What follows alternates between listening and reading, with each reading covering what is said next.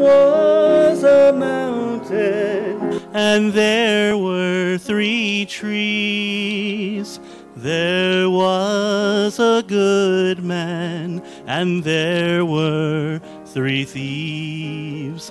A man called Barabbas was doomed for the tree, but Jesus took the middle cross, and Barabbas went free. Oh, I love the man in the middle because I know he first loved me.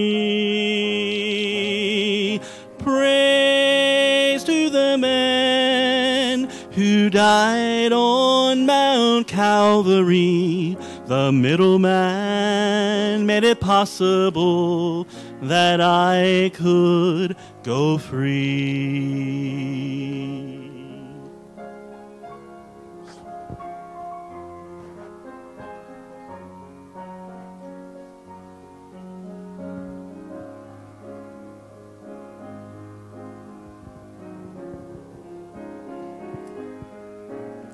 A hill called Golgotha, the place of the skull. No yellow flowers or trees in bloom, the scenery was so dull. Three crosses stood black and bold against the darkened sky. Not from pain, but from a broken heart, the middleman died. I love the man in the middle because I know he first loved me.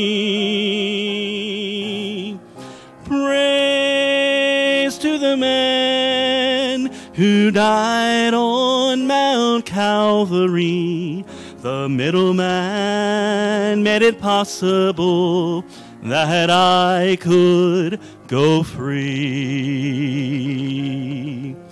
Oh, praise to the man who died on Mount Calvary. The middleman made it possible that I could go free, go free.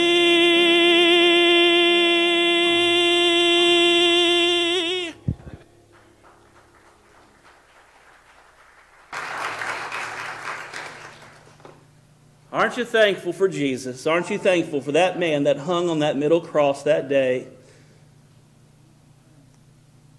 Without him, we would none of us would be here in this building tonight. Without him, we'd all be on our way to a place called hell. Aren't you thankful for Jesus? Let's sing about our Savior's love. Let's all stand together. Take our hymn book and turn to page 512. Page number 512, My Savior's Love.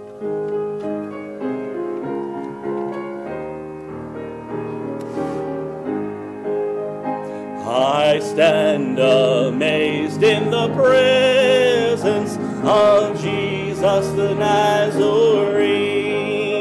and wonder how he could love me, a sinner condemned unclean. Oh, how marvelous, oh, how wonderful, and my song shall ever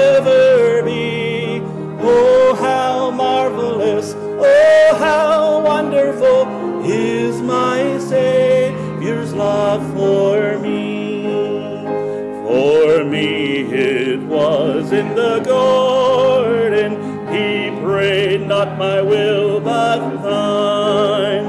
He had no tears for his own grief, but sweat drops of blood for mine. Oh, how marvelous, oh, how wonderful,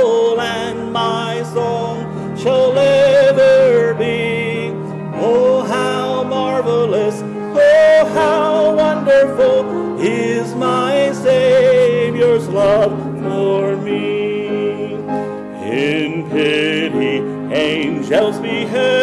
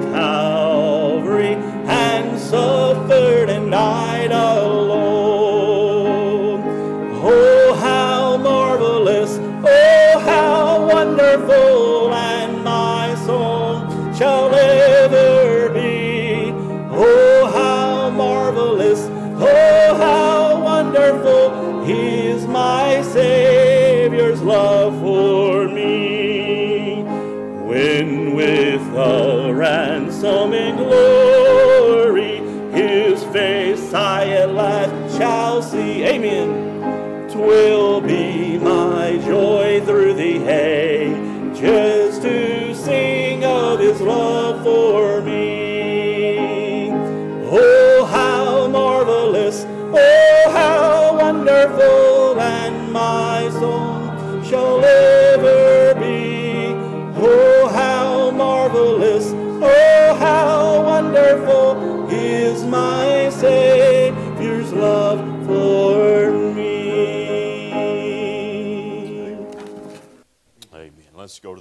Prayer and thank Him for that love, that grace that He demonstrated on Calvary's cross. Ricky, would you pray for us tonight?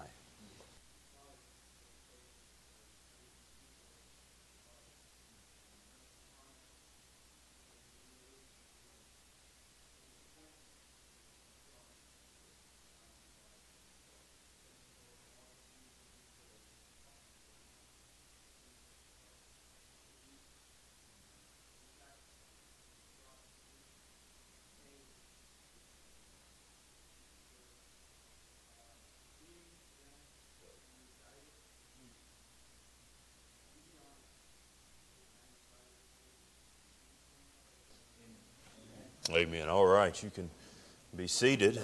Good evening to each of you. Trust that you've had a good week thus far. Thank you, Brother Mark, for that that special. Wasn't that a blessing to start the service out like that and and uh, man, just get our hearts and our minds in tune where they need to be, thinking about the cross of Christ and, and Christ's sacrifice on the cross. And uh, so, thank you, brother. That was great. Uh, as far as announcements, uh, don't forget that this Saturday uh, April the 3rd, uh, around 8 a.m., we're going to have a church-wide work day, spring cleaning day. Uh, please help us out with that. If you can please be here uh, at 8 o'clock, we'll get started on some work on the outside. Uh, most of us men will do that, and then there's plenty of work on the inside as well. So we need every, everybody that can come to please come. And if you have anything around your house as far as uh, lawn equipment, fertilizer spreaders, anything like that, uh, that you think would be useful, you go ahead and bring that, and, and uh, we'll probably put it to use. And so go ahead and help us out with that. And uh, please be here Saturday at 8 if you can. This coming Sunday is Easter Sunday.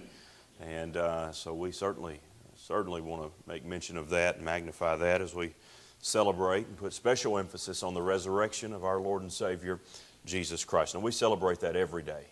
And uh, we celebrate that every Lord's Day. That's why we gather. We certainly want to put extra emphasis on it uh, at Easter on Easter Sunday. It is the, uh, the biggest day of the year in the life of a Christian, uh, Easter. Our hope is built upon the resurrection of Jesus Christ. And if the resurrection isn't true, if it never happened, then what you believe and what we believe will collapse like a house of cards. And your salvation and my salvation does not exist if the resurrection didn't happen. And uh, but thankfully, the Bible says that says it did, and we believe God's word to be the final authority in all things. And so we celebrate the resurrection of Jesus Christ. So that's Easter Sunday. We'll start 8 a.m. No Sunday school if you're above five years old. If you are uh, have kids, then they'll go to Sunday school at 8 a.m. when we start worship, and uh, so keep that in mind. Uh, breakfast, we'll have a breakfast feast. Uh, Monica put followed by a breakfast feast, and I like our terminology there in the bulletin. And uh, we are Baptist, and so we don't just, you know, this isn't some brunch, little toast and coffee deal. This is a feast, and so we're going to eat breakfast. There will be plenty of bacon, I'm sure, and uh, we'll start that after worship on Saturday morning. So probably around 9, 9.15, 9.30, something like that. We'll have breakfast, and then following breakfast, we'll have an Easter egg hunt. So if you have children or grandkids or anyone that you're bringing or inviting to attend that Easter egg hunt, make sure they bring their Easter egg basket. And uh, they'll need that. And that'll be a good time. Miss Connie Hatley and her girls, Macy and Eden, are organizing that. And I think I've been told there's somewhere around 400 eggs to be found or so. So we'll have a lot of eggs to find Sunday morning. So help us out with that. That'll close uh, our services for the day on Easter Sunday. Now, I do encourage you to come. Uh, I haven't mentioned this yet because I didn't know if it was a done deal or not, but it is. If you'll come, I got a special gift for you. And uh, everyone that comes, adult wise, uh, will have a special gift for you. I won't tell you what it is till you get here, but I think you'll enjoy it and uh, certainly be, be a help to you, I believe. And so come Easter Sunday and you'll get a gift for coming. Uh, ladies, you have a ladies' night out next Monday, April the 5th. at The Mud Pie Company um, says join us. Now, I won't be there, but join us for fun and fellowship. There's a sign up sheet in the back. Uh, you'll be doing some pottery or some kind of craft like that. If you plan on attending, then make sure you sign up. And uh, there is a cost to that. I don't know what it is. It's just you know, whatever the cost is when you get there to, to do the pottery. And I think there's different levels of, of cost. You know, if you want to be on the lower end or the higher end of whatever you des- decide to build or create. Um, you can look on their website. I'm sure they have information. Text my wife, she'll help you out as well. If you do plan on attending those, sign up. That's April the 5th. And then, of course, uh, uh, our mission conference starts next Wednesday. I'm so excited about our missions conference. It's been two years since we had one. I'm looking forward to it. Uh, Brother Ken Trivett will be here next Wednesday, Thursday, and Friday, along with other missionaries. And, uh, and then Brother Mark will close us out Sunday morning. And so help us out. Be here and uh, pray about what the Lord would have you to do for missions. And uh, if you can also bring some gift cards to help us out with our gift card offering for our special guests, and that would be uh, very much appreciated. We'll divide those up, whatever comes in between uh, our guests. We'll give them to their wives. If their wives aren't present, we'll give it to them and give them a command to give it to their wives. And uh, but just drop those gift cards in the box where you drop your tithe and we'll get those locked up in the safe and then distributed out next week. And so we appreciate your help in that. Man, weren't the Rochesters a blessing on Sunday? Man, just great service Sunday morning. And uh, man, I love their their fellowship, love their their spirit when they come and sing. They're here to worship. They're not here. They're not here to get a love offering. They're not here for entertainment. They're here to worship. Man, I, I love them. I already told Scott, man, you look at your calendar and you get us, you get us for next year or even later this year if you want to, but we, we want you back real soon. So they'll be back with us, I'm sure. All right, I don't know of any other announcements. Uh, if I'm forgetting something, then I'll let you know momentarily. Brother Mark, let's sing some more. All right, take your hymn book and turn with me to page number 188. We're going to sing some more about the cross. Page 188, At the Cross.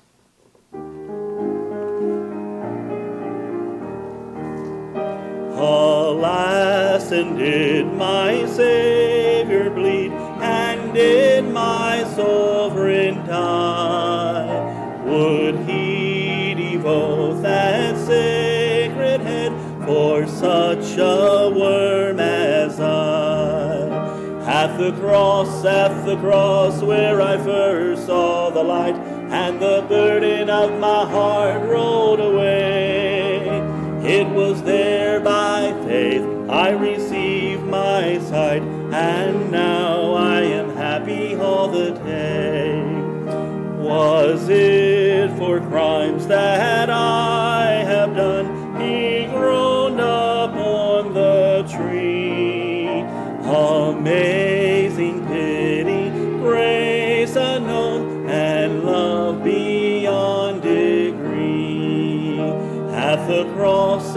cross where I first saw the light, and the burden of my heart rolled away. It was there by faith I received my sight, and now I am happy all the day. Well might the sun in darkness hide and shut his the mighty Maker died for man the creature sin. At the cross, at the cross where I first saw the light and the burden of my heart rolled away. It was there by faith I received my sight, and now I am happy all the day. But of grief can ne'er repay the debt of love I owe. Here, Lord, I give myself away, tis all that I can do. At the cross, at the cross where I first saw the light, rolled away. It was there by I received my sight, and now I am happy all the day. I love that second line there of that last verse. Here, Lord, I give myself away. Tis all that I can that I can do. I can't do anything to earn salvation. I can't add to it at all. Jesus already did it all. All I can do is say, Lord, here I give myself away. And uh, aren't you thankful that He did it all? Let's turn one page over back to 186, the old rugged cross. 186.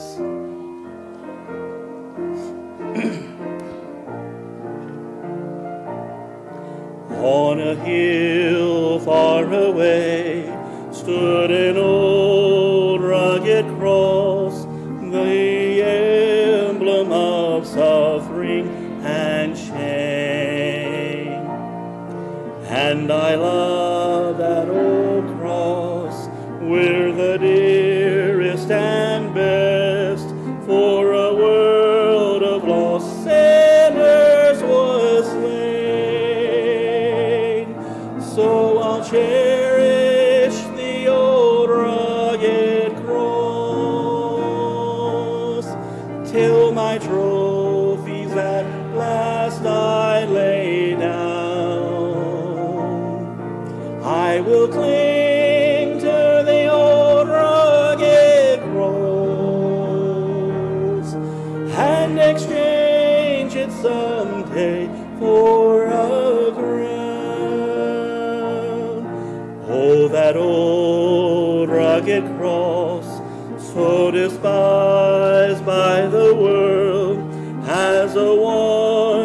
attraction for me.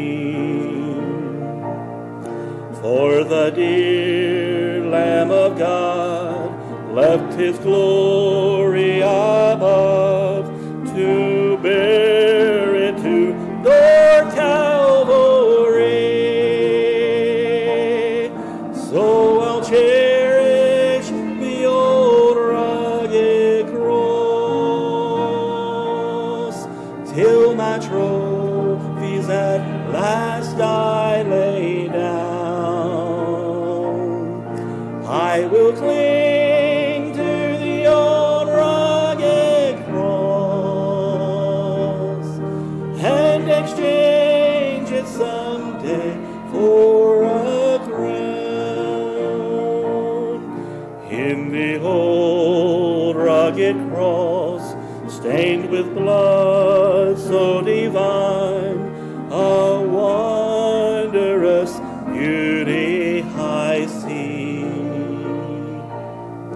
For 'twas on that old cross Jesus suffered and died to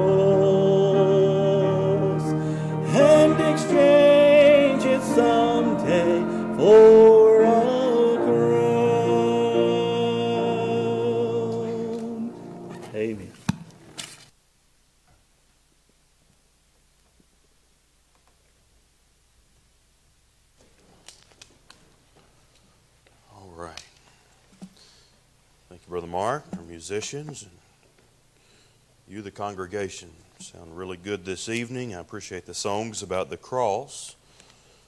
Yes, certainly, uh, Christ would have been about to face the cross, uh, even now, the week of the Holy Week.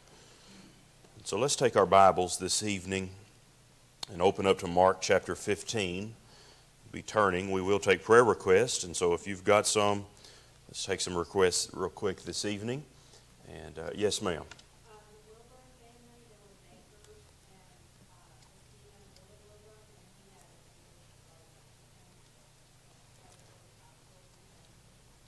Okay. Good to see you and your sister here again this evening. Thank y'all for coming. Miss Starr? Okay. All right.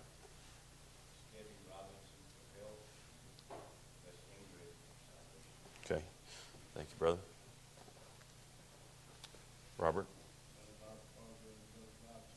Okay. Amen. Good. All right. Miss Debbie? Amen. Amen. I hope so.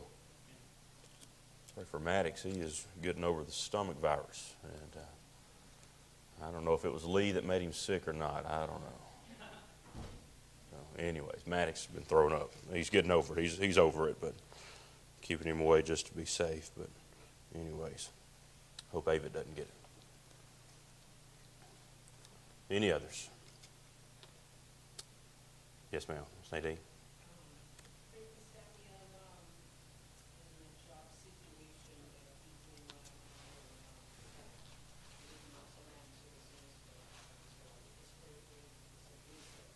Okay. All right. You said Samuel, is that who you said? Okay, all right. Thank you, Miss Nadine. Any more? Brother Gary?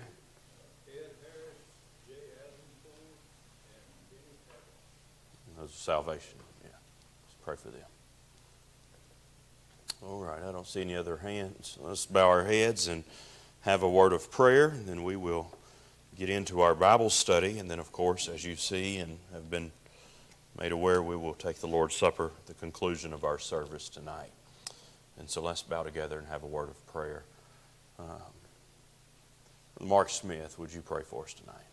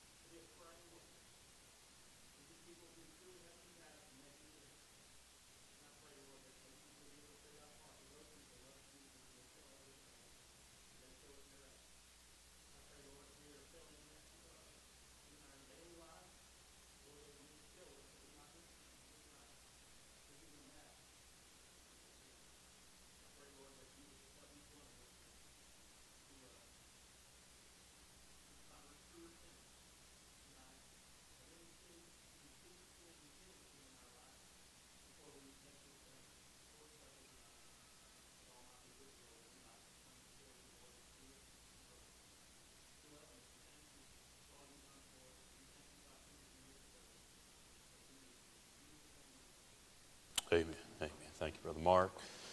And uh, as I said, let's turn to the Gospel of Mark, chapter 15. Mark chapter 15, and you're aware that we're uh, slowly but surely going through Mark's Gospel on Sunday mornings. This has nothing to do with that. And so we'll come to this text uh, here in the next few months, I'm sure, uh, on Sunday mornings. But uh, we finally come to the cross of Jesus Christ. And I was thinking about that statement and the fact that in reality, uh, eventually everyone everywhere is going to come to the cross of Jesus Christ. And the cross is a crossroads for every man, woman, boy, and girl, for every single person. When you come to the crossroads of the cross of Calvary, you can only go in one of two directions. You can either believe it or not. Uh, you can either cling to it or be callous to it. You can receive it or reject it, but friend, there is no third option. You see, it's through the cross of Jesus that God saves some people, but it's through the cross of Jesus that God separates all people. All people. It really is a crossroads. The cross divides all of humanity into two groups. There's a verse you ought to jot down in uh, 1 Corinthians chapter 1, verse 18. Perhaps you know it by heart. Where the Bible says, For the preaching of the cross is to them that perish foolishness, but unto us which are saved it is the power of God. You see, the cross divides the entire human race into two categories. One category, those that are perishing. The second category, those who are saved. And that's it. Uh, there's no third group. One group believes the cross to be utter foolishness, one group believes the cross to be power. The group that says it's foolishness, they're perishing. The group that believes it to be the power of God are being saved. And you cannot be in both camps. It's one or the other. And that's why the cross is literally a crossroads for everyone. Friend, your eternal destination is determined by your decision about the cross of Jesus Christ. And the cross either stands between you and heaven or the cross will stand between you and hell. It is the crux of our faith. And that's why, if you'll study the New Testament, you'll find that the overwhelming emphasis of the New Testament is not upon the birth of Jesus Christ.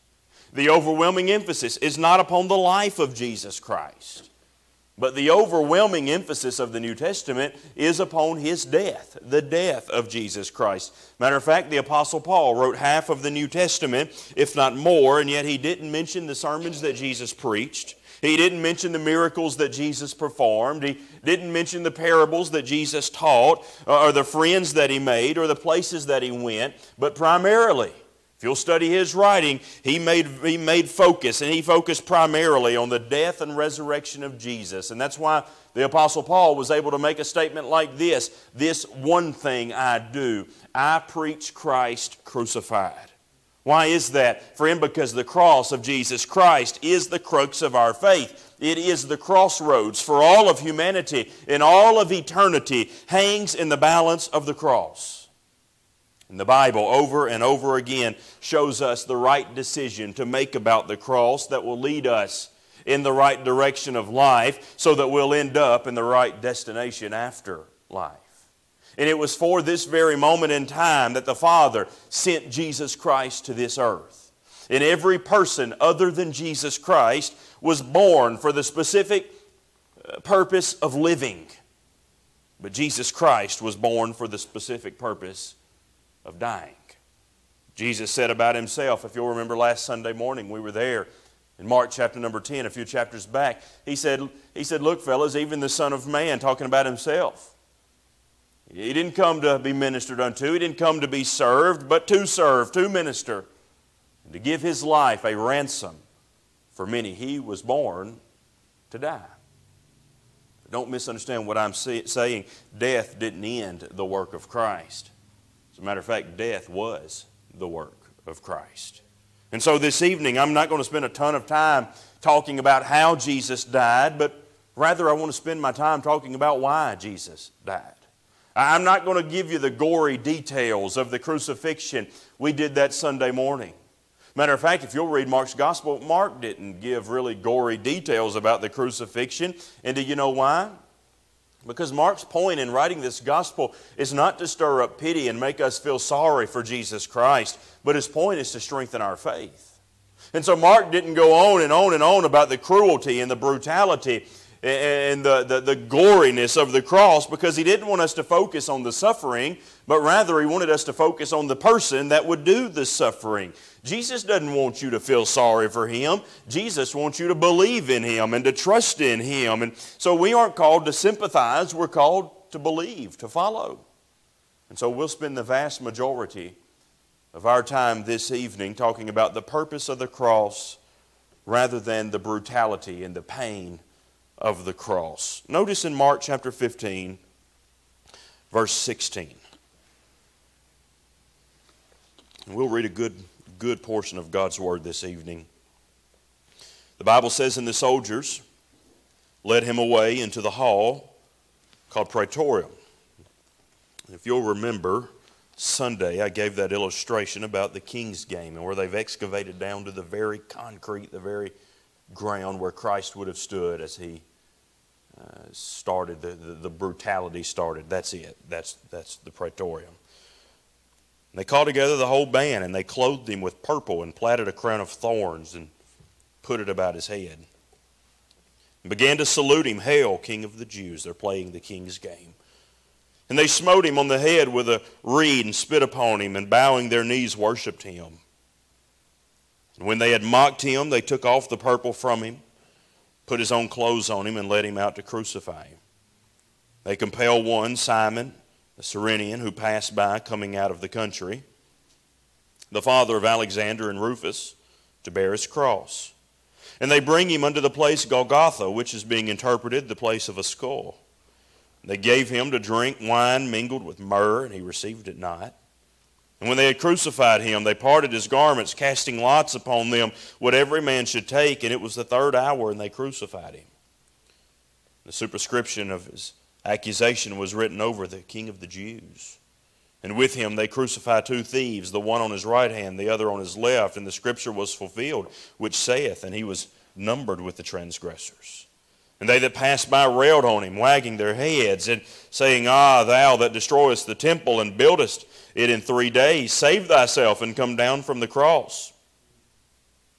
Likewise, also the chief priests, mocking, said amongst themselves with the scribes, He saved others. Himself he cannot save. Let Christ the King of Israel descend now from the cross, that we may see and believe. And they that were crucified with him reviled him. And when the sixth hour was come, there was darkness over the whole land until the ninth hour. And at the ninth hour, Jesus cried with a loud voice, saying, Eloi, Eloi, lama sabachthani, which is being interpreted, My God, my God, why hast thou forsaken me? And some of them that stood by when they heard it said, Behold, he calleth Elias or Elijah. And one ran and filled a sponge full of vinegar and put it on a reed and gave him to drink, saying, Let it alone, let us see whether Elias will come to take him down. Jesus cried with a loud voice and gave up the ghost. And the veil of the temple was rent in twain or two from top to the bottom. And when the centurion, Roman soldier, which stood over against him, saw that he had cried, he so cried out and gave up the ghost. He said, Truly, this man was the Son of God. There were also women looking on afar off, among whom was Mary Magdalene, Mary the mother of James the Less, and of Joseph and Salome who also, when he, uh, when he was in Galilee, followed him and ministered unto him, and many other women which came up with him into Jerusalem. Let's stop our reading there this evening. We'll focus on the crucifixion, obviously, tonight. Let me just give you four thoughts this evening, and, uh, and I'll tie this together and we'll take the Lord's Supper. Four thoughts about the crucifixion and what Christ accomplished in the crucifixion. Number one, through his crucifixion, Jesus vividly fulfilled Scripture. He vividly fulfilled Scripture. Now, some people fail to see the Old Testament as uh, being something that's relevant uh, to us today. Certainly, in a lot of people's mind, it, it might be relevant, but not as relevant as the New Testament. But, friend, understand this without the Old Testament, the New Testament will make zero sense. Uh, you see, through the Old Testament, God tells us what He's going to do. You get to the Gospels of the New Testament, He does it. And then in the epistles, in the remainder of the New Testament, God explains what He did and what you and I ought to do. See, the Old Testament contains over 300 messianic prophecies, uh, prophecies of the Messiah that God promised to send, and they were all fulfilled in Jesus Christ. 25 of those prophecies make specific predictions about his suffering and about his death. Why would God do that? Uh, why would God give specific details about who the Messiah would be, where he would be born, what he would do, what he would go through? Why? Well, because he knew humanity, he knew you and I, he knew that we would miss him. Uh, friend, every fulfilled prophecy is like God taking his finger and pointing down from heaven at Christ and saying, Here's your Savior. Here he is. He's doing what I said he would do. Don't miss him. He's here uh, for you. Now, do you know how many of those fulfilled prophecies Mark includes in the section of Scripture that we just read? If I counted right, at least eight. At least eight. Now, I've got them written down in my notes. You might jot these down in your notes. Uh, it'd be interesting for you to go back and read later. Understand, Mark's not trying, once again, he's not trying to stir up pity. He's not trying to make us feel sorry for Christ, but he's trying to strengthen our faith. What could possibly strengthen your faith in Christ more than a very old prophecy being fulfilled in Christ? And so Mark's readers would have known the Old Testament very well.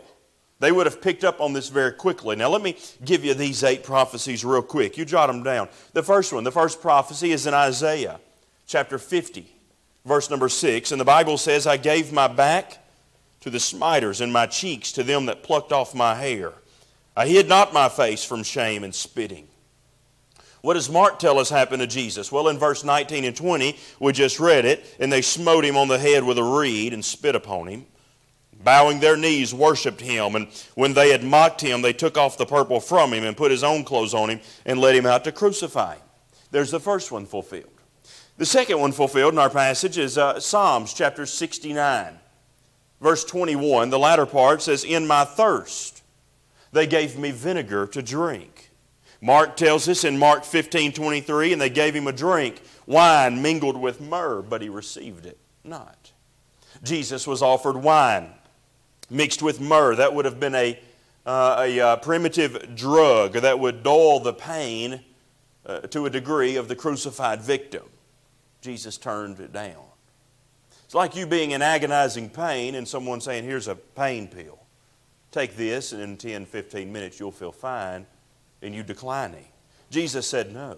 Why is that? Jesus wanted to face the agony to come with full control of his mental faculties. He refused that cup of sympathy so he could fully drink the cup of suffering. Another prophecy is Psalms chapter 22, verse 16. The Bible says, For dogs have compassed me, the assembly of the wicked have enclosed me. They pierced my hands and my feet. Verse 24 of Mark 15, the Bible simply says, When they crucified him. Of course, crucifixion is the piercing of one's hands and one's feet to a cross.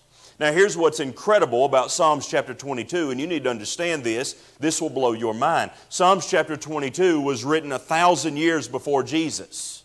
Psalms 22 was written before crucifixion had even been invented yet. And yet it sounds exactly like someone being crucified. And the writer never even heard of a crucifixion. How is that? Just simply put it this way because while, while mankind might be the penman and the writer, the all knowing God is the author. Psalm 22 18, here's another one says, They part my garments among them and cast lots upon my vesture. At the cross, well, verse 24 of Mark 15, they parted my garments, casting lots upon them what every man should take. How incredible is the precision of the fulfillment of these prophecies? Isaiah 53, that holy ground in the book of Isaiah, verse 12 says, Therefore will I divide him a portion with the great, He shall divide the spoil with the strong, because he hath poured out his soul unto death, and he was numbered with the transgressors. And listen to verse 27 and 28 of Mark 15. And with him they crucified two thieves, the one on his right hand and the other on his left. And scripture was fulfilled, which saith, He was numbered with the transgressors. Psalms 22, verse 6, the Bible says, But I am a worm and no man, a reproach of men and despised of the people. All they that see me laugh me to scorn. They shoot out the lip. They shake their head, saying, He trusteth on the Lord that he would deliver him. Let him deliver him, seeing he delighteth in him. Of course, that's fulfilled in verses 29 through 32, where the Bible says, And they passed by, railed on him, wagging their heads, saying, Ah, thou that destroyest the temple and buildest it in three days, save thyself and come down from the cross. Even those who were crucified with him were mocking him, reviling him. Now, how ignorant is that? How ironic is that? It wasn't that he couldn't come down from the cross, he could. He's God. It's that he wouldn't come down from the cross. Understand that if Jesus had saved himself, and he could have, but if he would have, he couldn't have saved others. If he was to save others, then he knew he had to hang there and he couldn't save himself. These, claim, these men claim that, that they would have believed it if he would come down from the cross. They say, if you'll come down, we'll believe who you say you are. But yet I believe precisely because he chose to stay on the cross. Another prophecy, Amos chapter number 8, verse number 9, the Bible says, It shall come to pass in that day, saith the Lord God, that I will cause the sun to go down at noon, and I will darken the earth in the clear day. What did Mark report happened at the crucifixion? He said in verse 33, And when the sixth hour was come, there was darkness over the whole land until the ninth hour. Sixth hour would have been noon, and so the ninth hour would have been 3 p.m. And so from 12 uh, p.m. to 3 p.m., there was utter darkness. There was unexplainable darkness. Now you think about that for a moment. What holiday at this time period were the Jews celebrating? The Passover. The Passover. The time that God sent 10 plagues on Pharaoh to convince him to free his people from slavery, from bondage, right? Do you remember what the ninth plague was? It was a three day period of darkness over the whole land of Egypt. Do you remember what the tenth plague was? Of course you do. It's the death of every firstborn son without the blood of the lamb over the doorpost of the home. Listen, the darkness of Calvary was God's announcement that his firstborn son, the perfect Lamb of God, was giving his life for the sins of the world. It was an announcement that judgment's coming. And people better be prepared. I'll give you one more prophecy and I'll move on. In Psalms 22, verse number 1, the Bible says, My God, my God, why hast thou forsaken me? Why art thou so far from helping me and from the words of my roaring? And of course, in Mark 15, 34, and at the ninth hour, Jesus cried out with a loud voice, saying, Eloi, Eloi, lama sabachthani, which is being interpreted, My God, my God why hast thou forsaken me? Understand that when the Bible was originally penned down, numbers for chapters and numbers for verses were not part of the original writing of Scripture. Those were added later for convenience. One, probably the most common tactic to help people uh, to identify a specific psalm would be to quote the very first verse of it.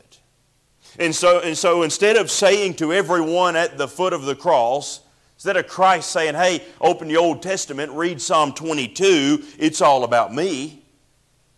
They didn't do that. They wouldn't have known what Psalm 22 was. Jesus quotes the first verse of it.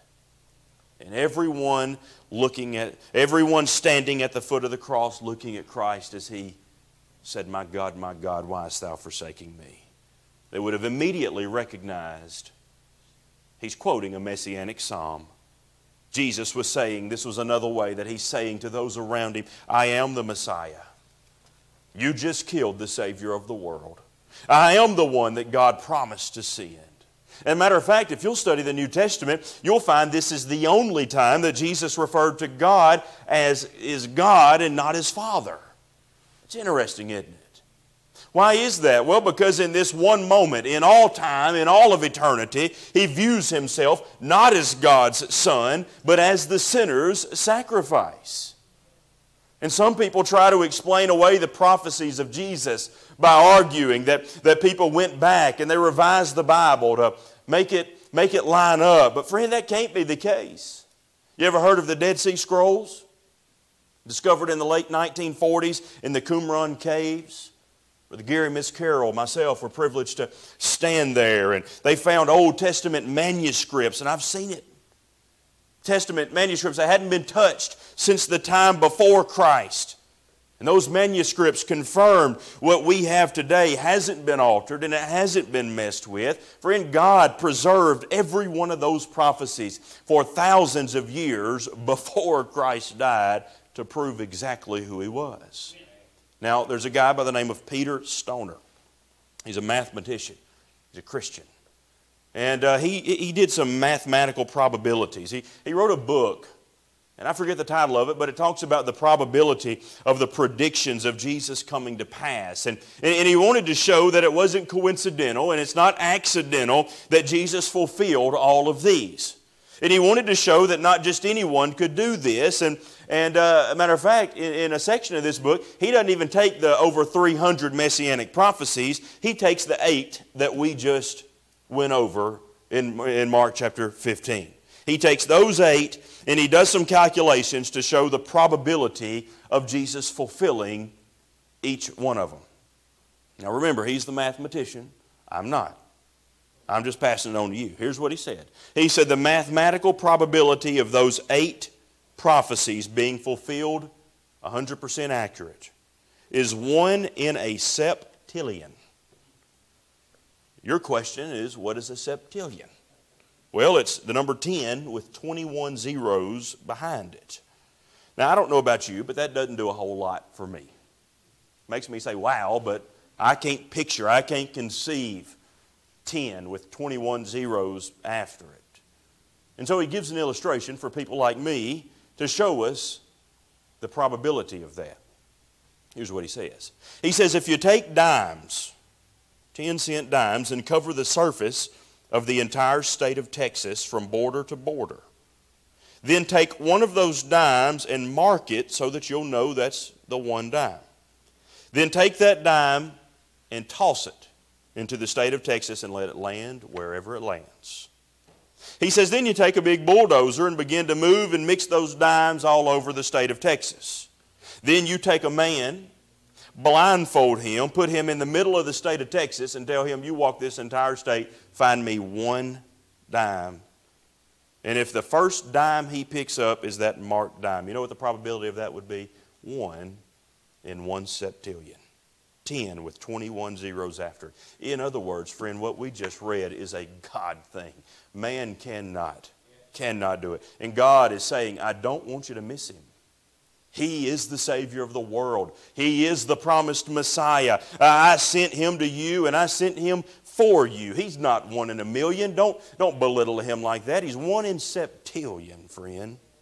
The crucifixion of Jesus through his crucifixion, he vividly fulfilled Scripture. But through his crucifixion, he immediately changed lives. Immediately. I love verse 21.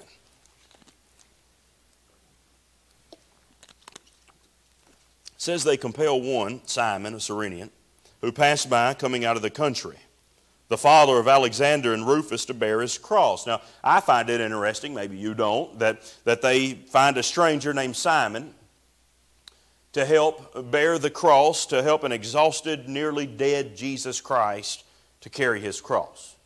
In my opinion, it should have been a different Simon. Should have been Simon Peter, you know, the one who promised to die for him and to die with him if necessary. Simon Peter's nowhere to be found. And so God chose another Simon, Simon of Cyrene, to help his, help his beloved son. He's a man from northern Africa. He had traveled to Jerusalem to partake of the Passover, to eat the Passover lamb. But isn't it interesting? As he gets there, he doesn't eat the Passover lamb, he meets the Passover lamb face to face. Now, I'm sure at that very moment, Simon didn't want anything to do with that.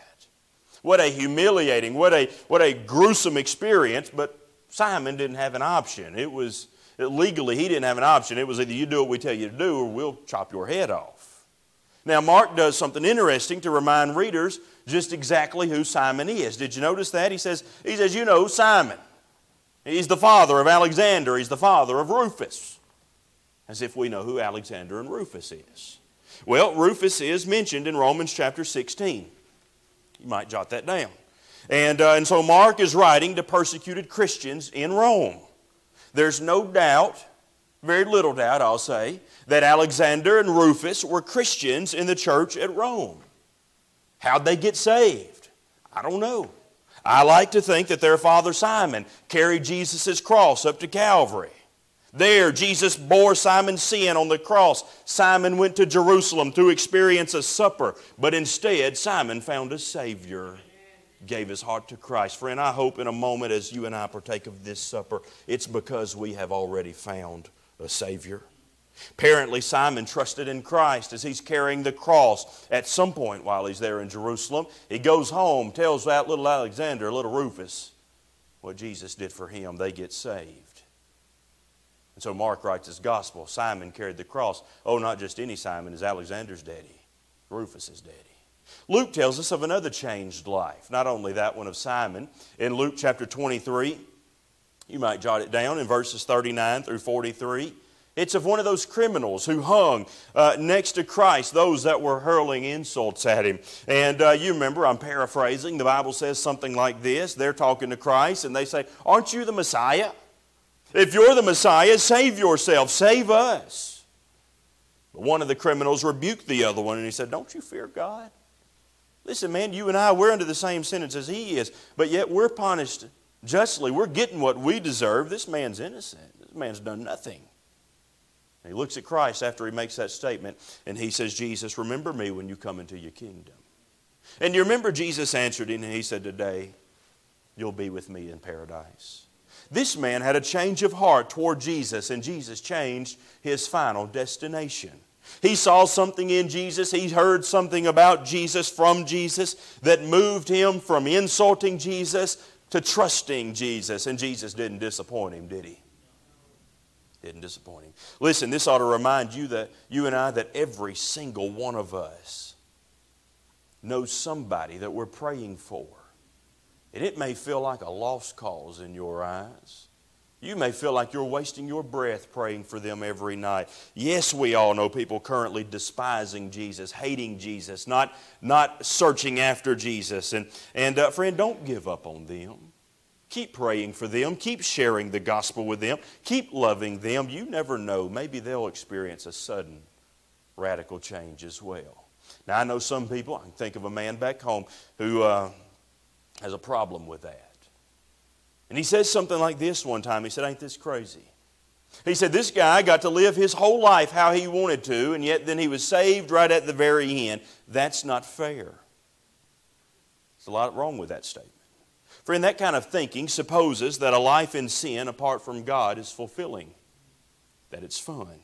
And a life of obedience to God is burdensome, that it's, that it's restrictive. Nothing could be farther from the truth. Sin isn't fun, friend. Sin kills. Sin doesn't make you bad, sin kills you, it makes you dead. Look where this man's sin got him. Look where the choices got him. He's hanging on a cross, about to die. Uh, friend, his only freedom came because Christ happened to be hanging right next to him, and he was able to set him free from his sin. This man's testimony ought to be a reminder to all of us that salvation is a result of faith in Jesus Christ, not in good works. This guy does literally nothing except call out to Jesus and believe that Jesus was the King of heaven and that he's going to go back to his kingdom. And he said, Christ, take me with you. He doesn't attend any church services. He doesn't give any money. He doesn't read any scripture. He doesn't say any pretty prayers. He's not nice to people. But I'll tell you one thing he did do he believed. He believed. And the Bible says, For God so loved the world that he gave his only begotten Son, that whosoever believeth in him should not perish but have everlasting life. You can't work your way to heaven. You couldn't do enough good things to, to even get you one step toward heaven. Greatest basketball player of all time, Michael Jordan, early in his career, scored 69 points in one game There was a bench warmer who got in the game in the last minute or two of the game. Hadn't played hardly any that year. Got in the game, got the basketball, threw up a shot, got fouled, had two free throws. Missed the first one, made the second one, ended the game with one point. A week or two later, he was interviewed, and the interviewer said, What's the most memorable event in your pro career? And he said, Well, it was the night that Michael Jordan and I scored 70 points together. That's ridiculous, isn't it? Well, I'll tell you what's more ridiculous. What's more ridiculous is for you and I to boast about what we've done for God. Friend, God has provided the salvation. He's done the work on the cross of Calvary on your behalf. And you're saved, and I'm saved only through our relationship to Him. That's by faith and not by works.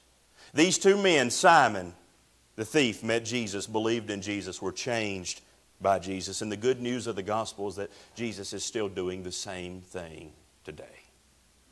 Thirdly, and I've got to hurry, through his crucifixion, Jesus personally made God accessible.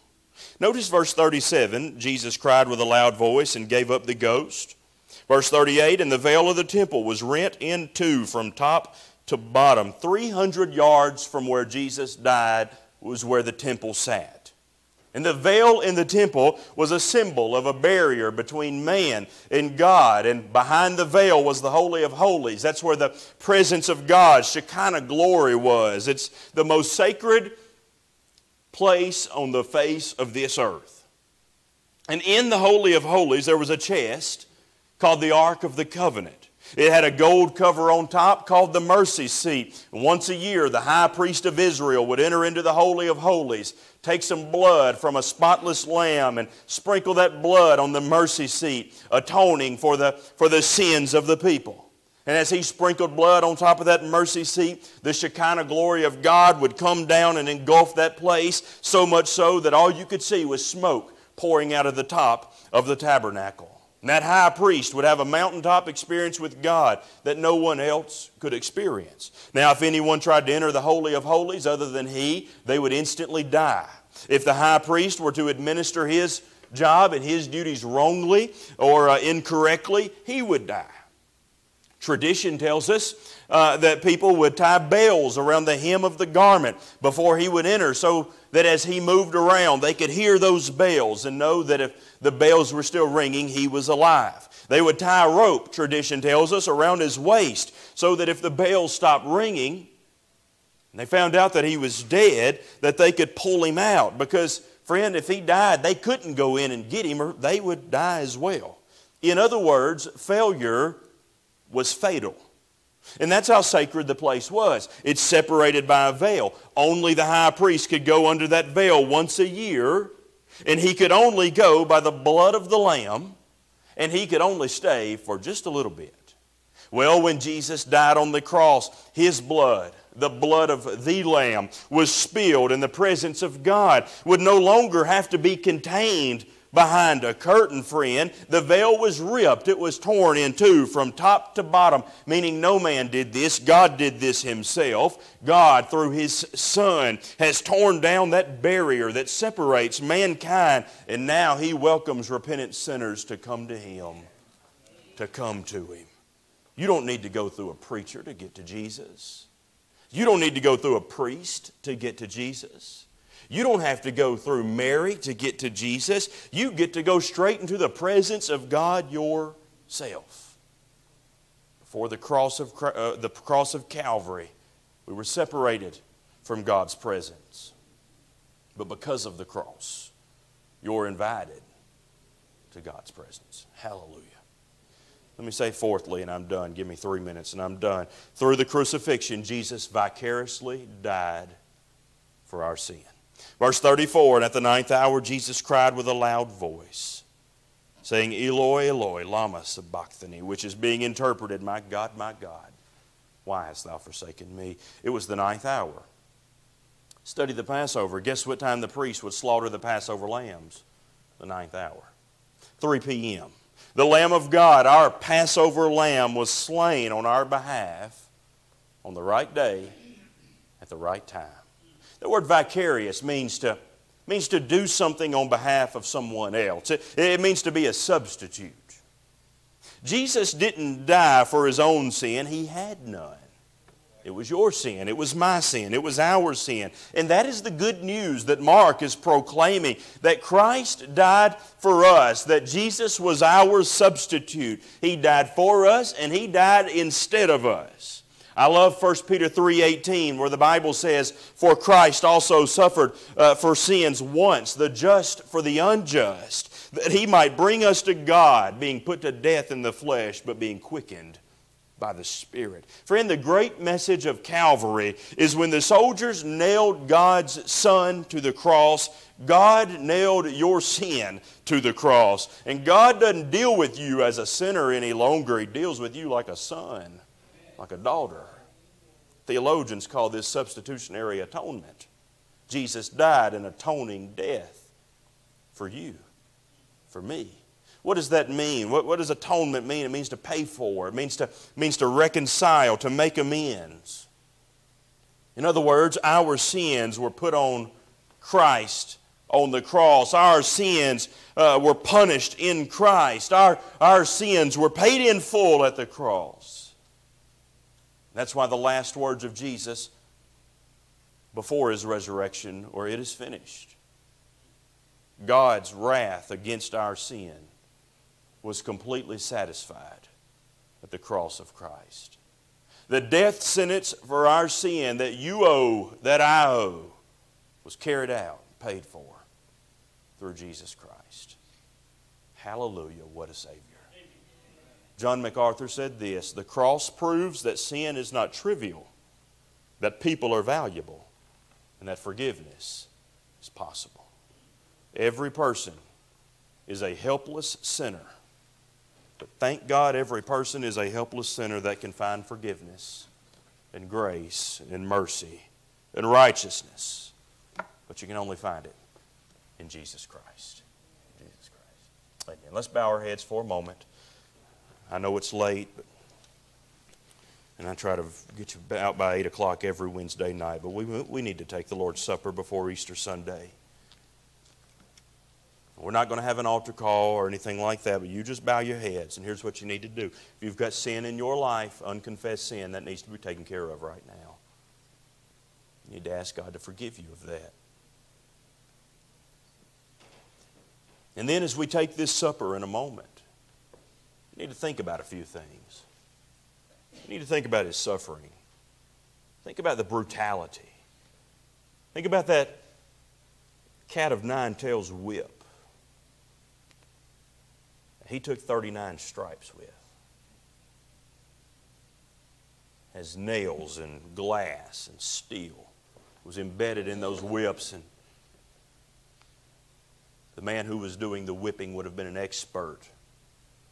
As he lashed the back of Christ, he would have done so at the right angle that when he ripped it out, flesh would have been ripped out and channels would have been dug in the back of our Savior. Think about the crown of thorns. Think about the spitting on his face, the mockery, the scourging. Think about the mocking on the cross. Think about the Via Dolorosa, the path to Calvary. Christ being so physically weakened by what he'd been through, couldn't even carry his own cross. And then certainly think about his crucifixion. His blood that was shed for you and I. And thank Him for it.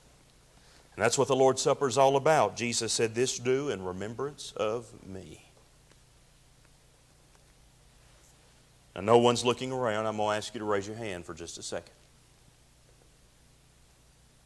How many of you, my eyes are closed as well, how many of you have problems right now in life? Just raise your hand. No one's looking. Just raise your hand. Got burdens? Raise your hand. Financial problems, marital problems, problems with children, going through a valley, grandkids. You got loved ones that need to be saved. You got worries at work, things that are stressing you out at work.